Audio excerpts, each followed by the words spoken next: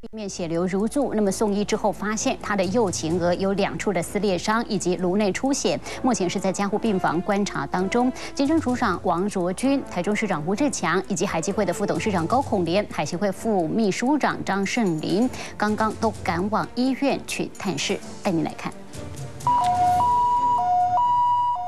受伤的台中市刑大小队长陈珠祥头上戴着护具，被紧急送往中港澄清医院。当时意识还很清醒，但由于他的头部受到强烈撞击，医院立刻替他做脑部断层扫描。当时就是额头有一些撕裂伤，一个一公分还有两公分的撕裂伤，然后其他比较严重的伤势就是脑部有出血了。目前这个状况是不需要开刀的。陈珠响额头右边有两处撕裂伤，不过因为出血量不多，医院暂时先以内科方式处理，不用开刀。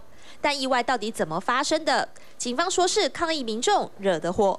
用冲天炮呢射向啊裕远花园酒店，发射的这个啊爆竹烟火呢发生火花啊，那当然他当时想说会影响到啊这个来往车辆还有行人的安全，所以我们这个小队长呢就上前啊上车去制止。结果等到我们小队长上车以后啊，就被推下来。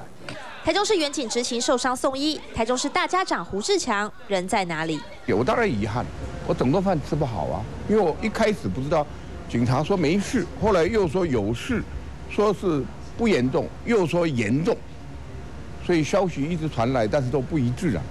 到刚刚我所。